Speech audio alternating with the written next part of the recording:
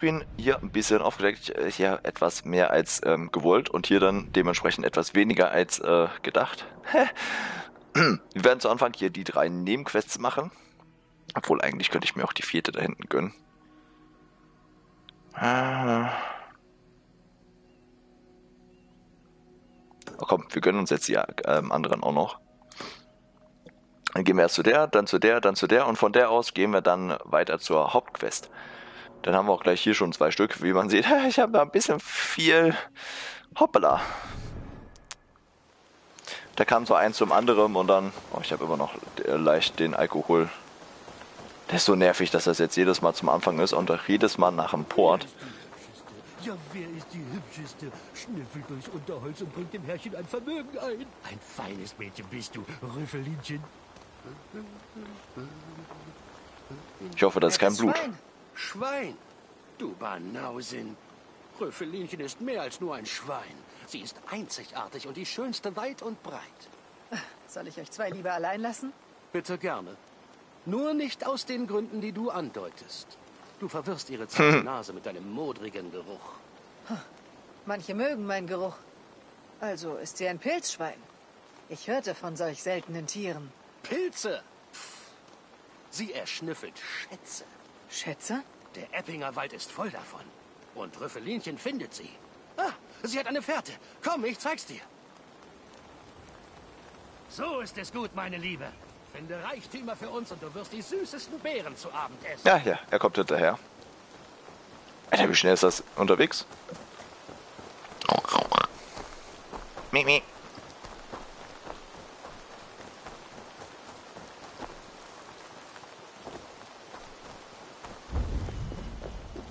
Bis jetzt ist hier noch nichts. Ich lispel halt immer noch ein bisschen, da ist echt nervig. Oh, ich habe das Trinken vergessen.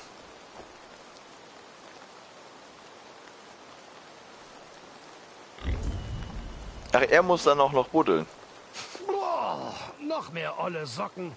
Räuber lassen sie herumliegen und sie wird von diesem gottlosen Gestank angezogen. Vergebene Liebesmüh. Ich lege mich hin. Wenn Rüffelinchen wegrennt, folge ihr bitte, ja? Was sie findet, teilen wir. Socken kannst du behalten.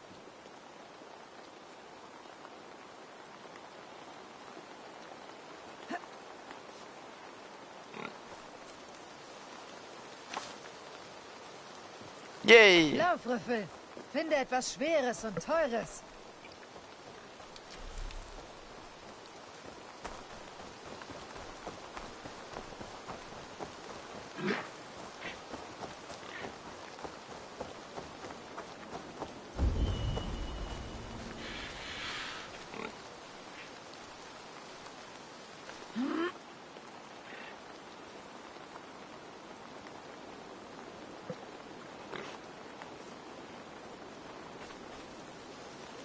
Ja, gute Ausbeute. Schön, Rüffelinchen. Du bist wirklich die Beste. Naja. Los, Rüffelinchen. Renn, als wäre der Fenriswolf hinter dir her.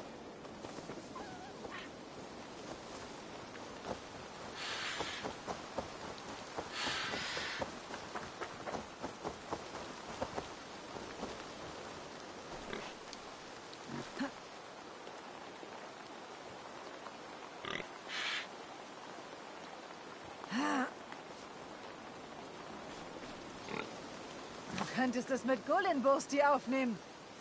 Oh, das ist schon, das ist schon cooler. Wurdest du auch von Zwergen erschaffen?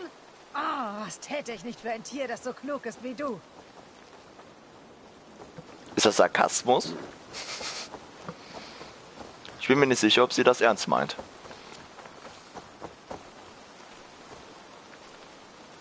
Da. Was? Von wo?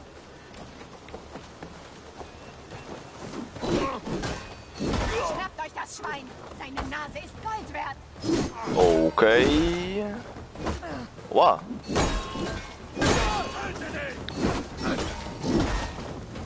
So, mein Schätzchen. Diese stinkenden Schurken behelligen dich nicht mehr.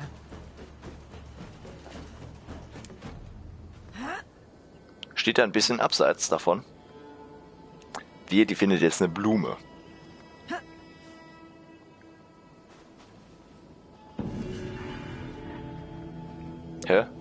Was habe ich bekommen? Was habe ich bekommen? Ein Besteck. Wow. Es müsste rein von der Logik her das sein, das am weitesten links ist. Ich hoffe es mal.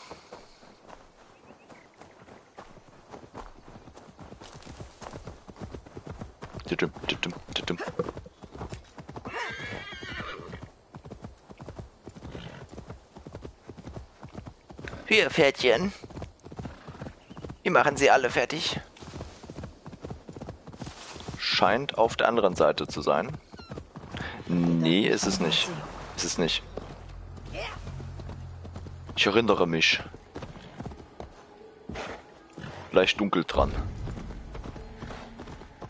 Vielleicht sollte ich mich hier lieber vermummen. Ja, das könntest du tun.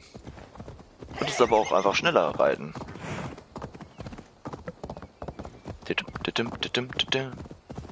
Ja, die anderen, die sind dann...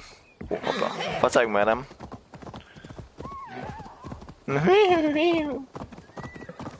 Ja, müssen wir gleich da sein. Sehr idyllisch hier. Mit dem leichten Wind. Hat so ein bisschen ähm, Frühling-Feeling.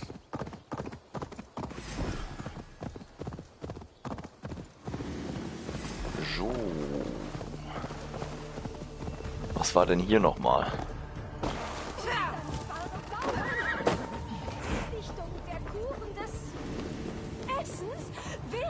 Die.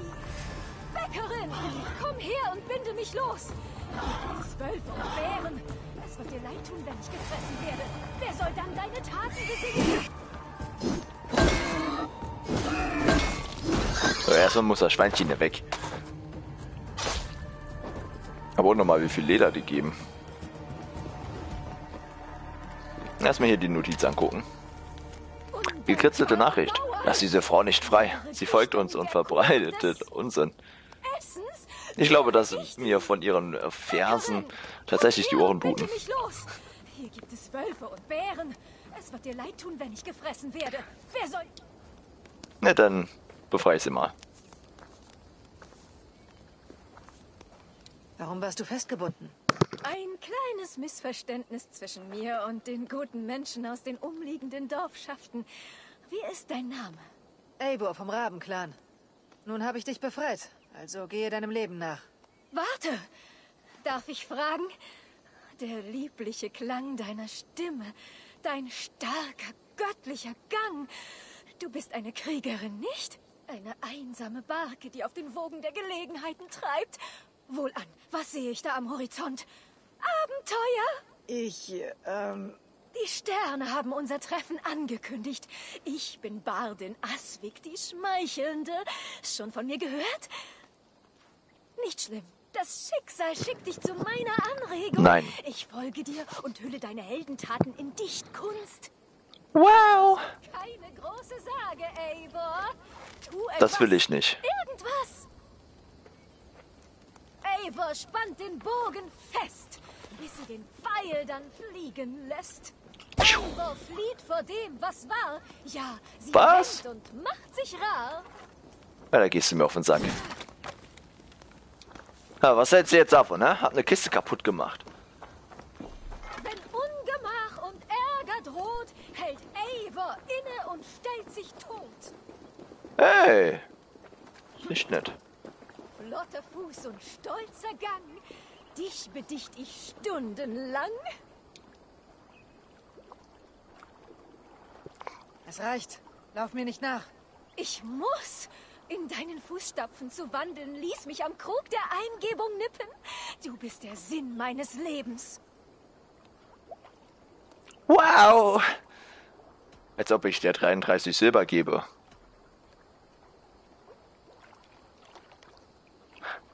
Als ob das mit den 33 Münzen funktionieren würde. Wenn da schon. Nee. Ich gebe dir kein Geld. Ich bring die einfach ist, um. Was du willst. Geld? Du beleidigst mich. Ich bin Künstlerin.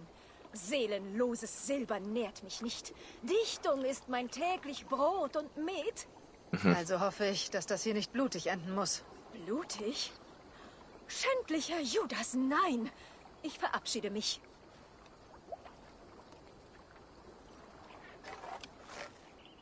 Ja. Aber es zählt nicht als. Das Ereignis wurde nicht abgeschlossen. Was? Hätte ich der Münzen geben? Nee, das kann ich mir nicht vorstellen. Daraus wird keine große Sage, Eivor. Tu etwas. Irgendwas.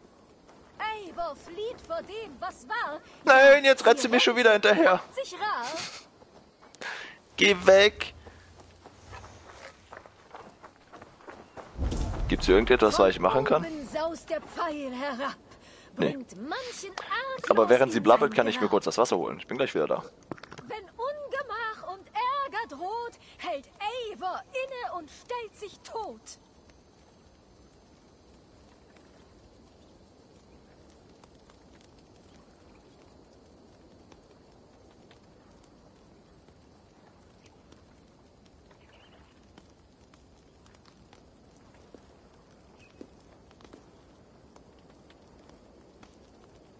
Daraus wird keine große Sage, Eivor. Tu etwas. Irgendwas. Ah, ich kann sie wieder ansprechen. Es reicht. Lauf mir nicht nach. Ich muss. Blöde Kuh. In deinen Fußstapfen zu wandeln, ließ mich am Krug der Eingebung nippen. Gut, das wissen wir ja schon alles. Ja. Schluss jetzt. Ich werde mir dein Gefasel nicht länger anhören. Erst war der Hunger und nun sieh her, ein Festmahl. So lebe denn wohl, Eivor vom Rabenclan. Deine Heldentaten werden durch mich weiterleben. Ich danke dir. Aber bitte, geh endlich. Los, verpiss dich. So lebe denn wohl, kühne Heldin. Gedicht. Vielleicht sehen wir uns wieder. Götter, hoffentlich nicht. Ja. Das war es mir wert. Ich glaube, mit 33 hätte es dann auch schon gelangt. Aber dann hätte ich es mehrmals machen müssen. Hm. Aber 165 mit dem Silber bin ich eigentlich zurzeit gut dran, dass ich da nicht geizig sein muss. Oh, niung. Wo muss ich denn lang? 300? Hier, zu den 300 müsste ich. Zack. So, Bildchen, du wartest hier. Ich, ich komme später vorbei.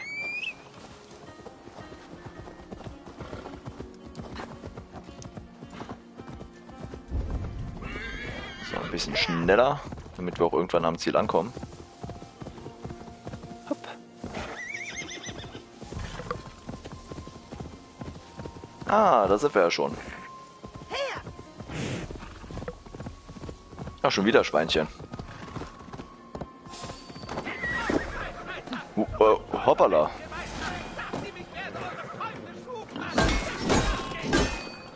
Tja. Die Anhe... Was ist mit dem Schweinchen los?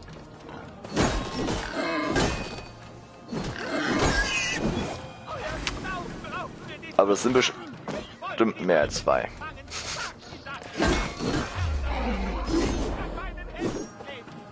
Äh. Renn doch nicht weg. Schlitz. Jo. War hier nicht eben noch was zum Looten? Ach, guck mal, ein Schlüssel.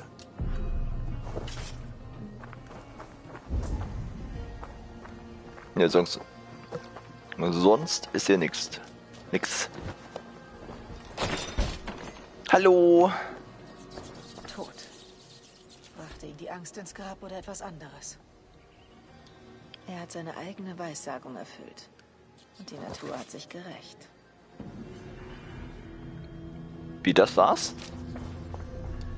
Und dieser Gestank. Abfall und verrottendes Essen. In seiner Angst hat er sich eingesperrt. Kein Wunder, dass Ratten kamen. Hat er nicht eben noch geredet? Er hatte große Angst. Er dachte, er wäre verflucht, weil er eine Wölfin und ihr Junges getötet hatte. Was? Was ist das denn für ein Lappen? Nur weil er ein Tier getötet hat. Gut, wenn das noch Spaß gemacht hat, dann ist er schon ein Lappen, aber wenn er es ähm, fürs Essen gemacht hat, ist doch alles fein.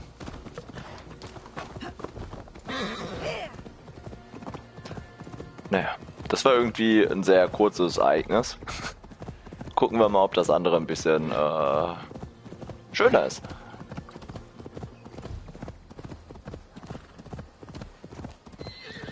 Das ist ja hier zum Glück gleich um die Ecke.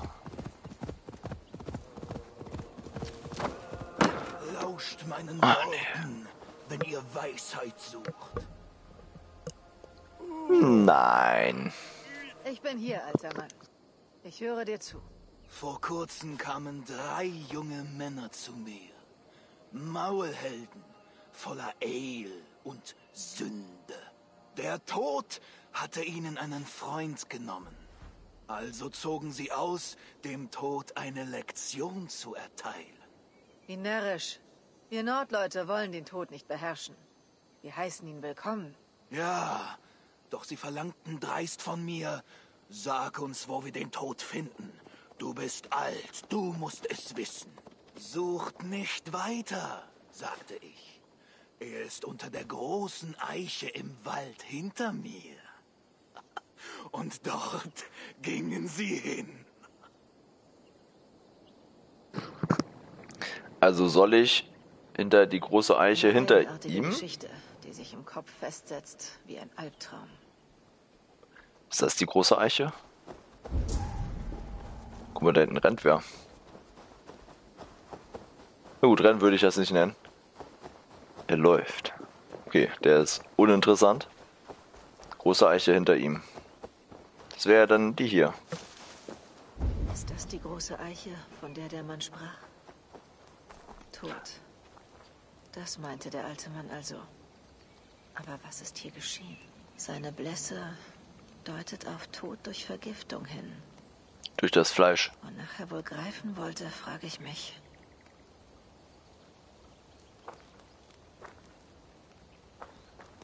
Essen und Bier. Aber warum hier ein Lager aufschlagen, wenn sie den Tod suchten, wie es der Alte erzählte? Ja, damit sie sich mit dem ähm, Essen vergiften können. Das waren keine Räuber. Oh.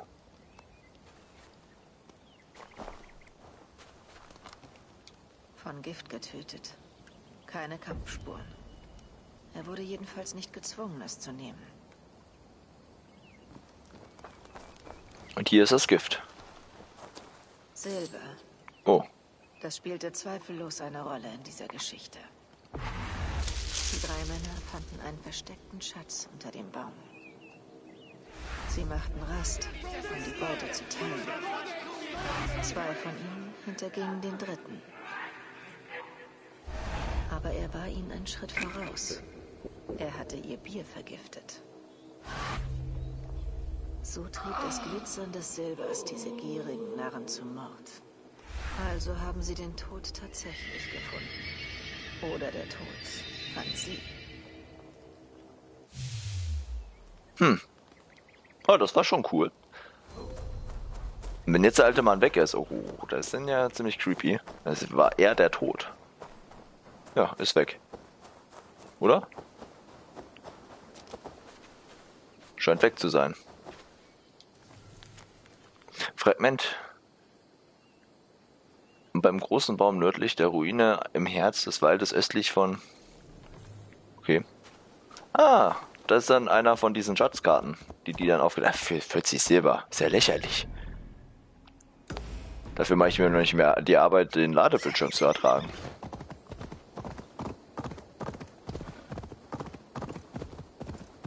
So, das sind wieder ein paar Wildschweinchen. Ein paar sind gut. Da hinten sind ja auch noch welche und da sind auch noch welche. Der macht gerade einen Fight.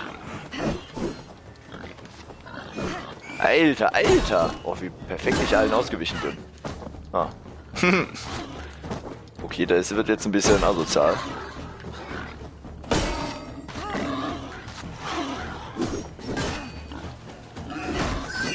Ich denke, sobald einer weg ist, wird es leichter. Alter, was ist das denn hier für eine Armee? WTF. So, jetzt habe ich es aber.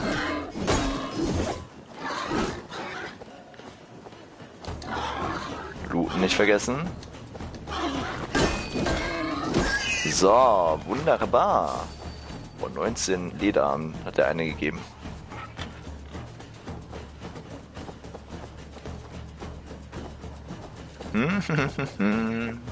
Weiter geht's.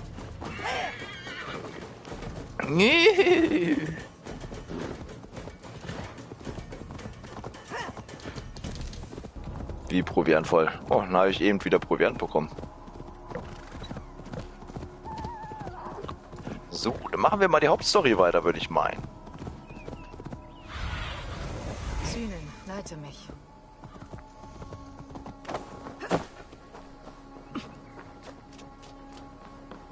Sie? Nee. Ah, da.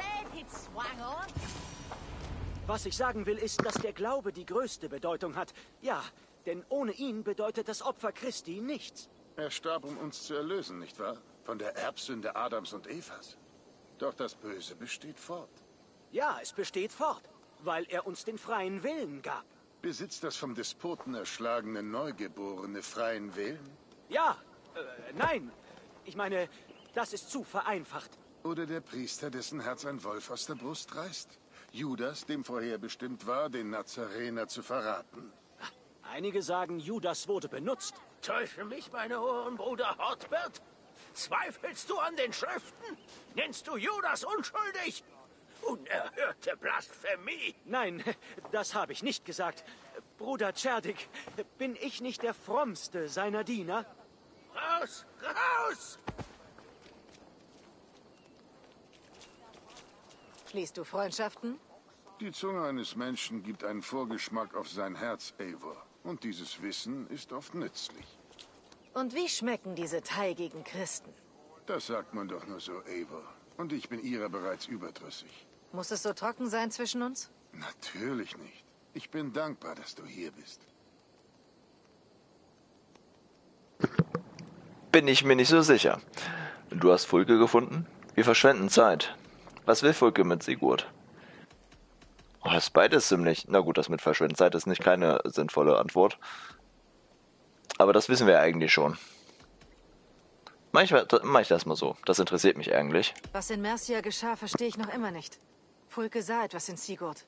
Eine Kraft, ein Vermächtnis. Worauf ist sie aus? Ihre Beweggründe sind schwer zu greifen. Aber das kann warten. Finden wir zuerst deinen Bruder. Ja, wenn wir das tun, wirst du dir das Recht auf meine Freundschaft zehntausendfach verdient haben. Also, wie lautet dein Plan? Wir sind tief im Herzland ihres Gottes. Eine Heidin und ein Ketzer. Um Fulke zu erledigen, brauchen wir eine christliche Falle. Fulke ist kaum eine Heilige. Diesen Christen sind ihre seltsamen Vorstellungen ein Gräuel. Stimmt, aber sie geht als eine von ihnen durch. Sie wird sich nicht vor allen verstecken. Nicht mit einem Gefangenen im Schlepptau. Also, wo beginnen wir? Ich habe einen neuen Freund. Abt Kühnebert. Voll frommen Feuers, doch mit Ambitionen, die weit größer sind als sein Verstand. Und was weiß dein Freund Kühnebert? Komm, ich werde dich ihm vorstellen. Und wir hören uns die ganze Geschichte gemeinsam an.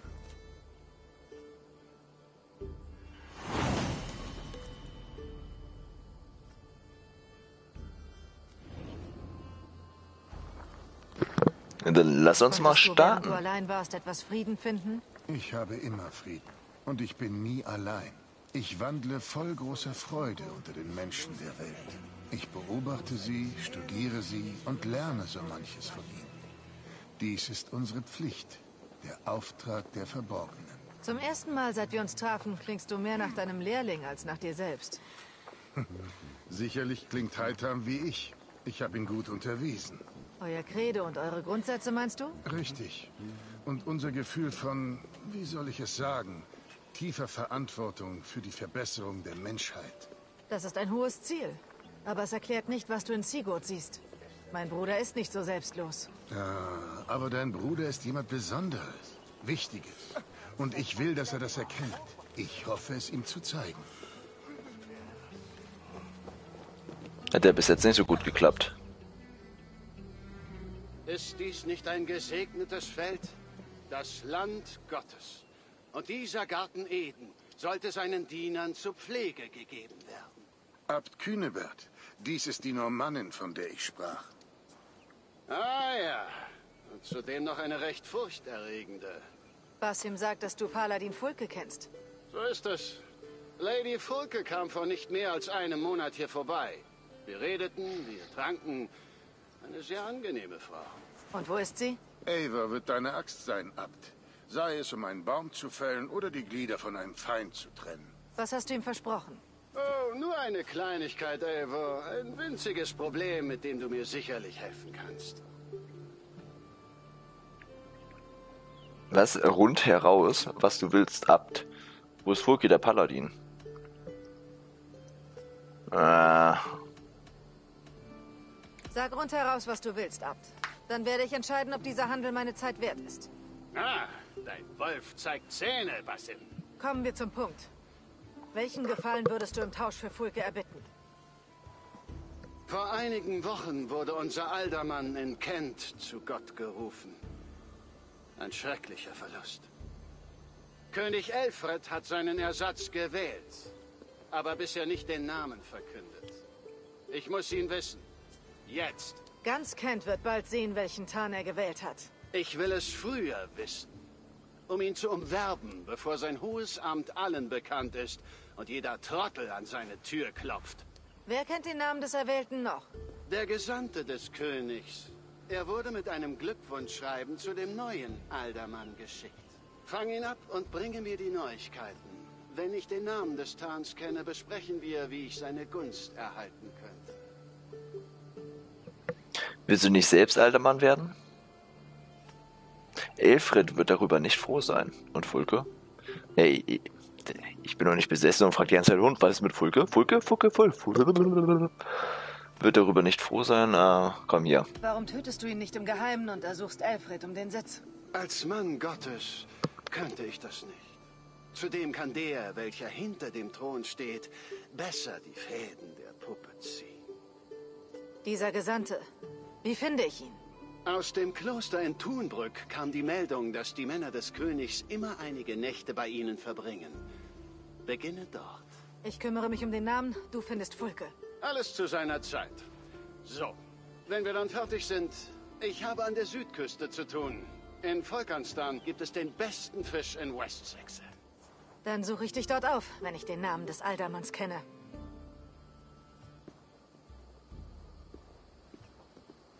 Kühnebert ist ambitioniert und hat gute Verbindungen. Ohne ihn werden wir Fulke nicht finden. Das bleibt abzuwarten. Was wirst du tun? Ich bin es noch nicht leid, mit diesen Christen zu spielen. Ich sehe dich dann in Volkanstern.